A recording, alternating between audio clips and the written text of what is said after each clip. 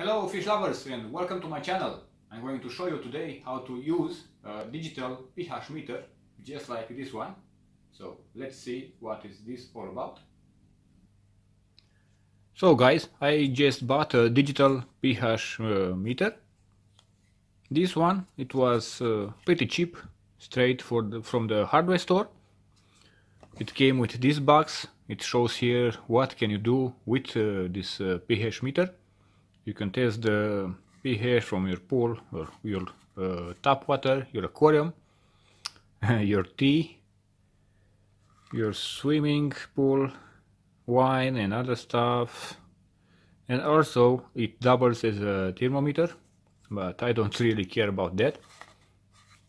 It has some uh, safety instructions in here and how to use it. Okay, so let me show you the digital pH meter. It has two buttons here, on off and temp. And here you can see this one. Um, this is the measuring probe.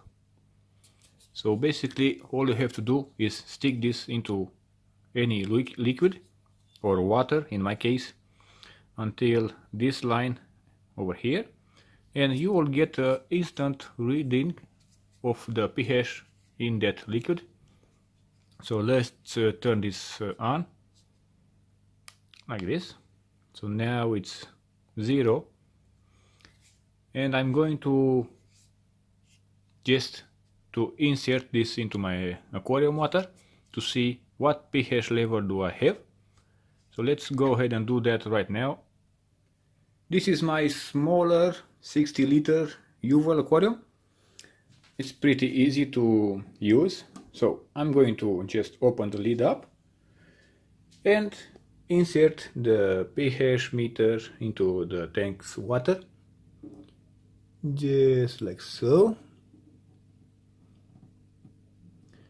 Let me shake it a little.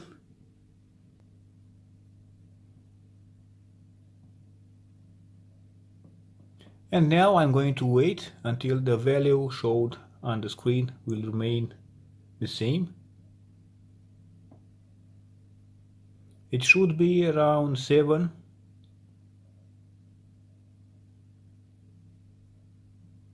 6.4 6.5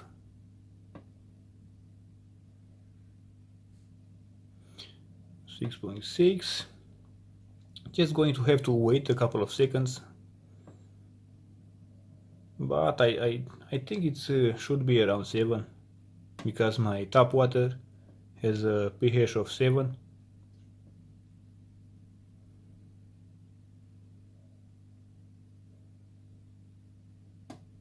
6.8 uh, 6.9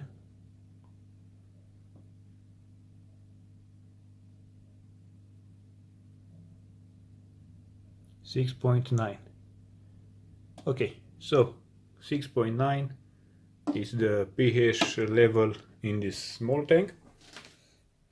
Now let's check uh, my bigger tank. So let's go ahead and uh, dip this into my into my tank's water. Okay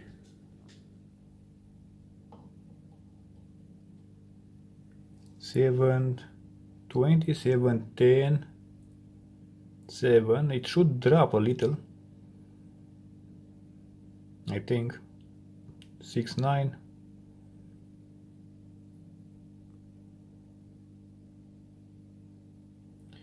So the pH into from this uh, tank is six nine.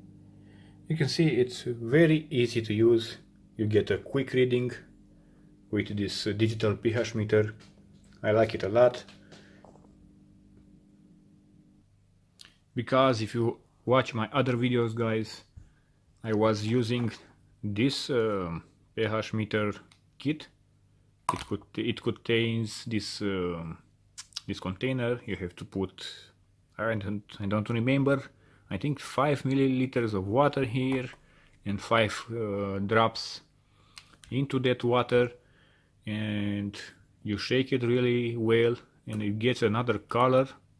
You have to test that with a color test. I, it's uh, uh, it's not that easy to do. And you have to really check the color to be accurate. But as you can see guys using a digital pH meter it's more easy and convenient. So I really like it thanks for watching guys and have a great day. Bye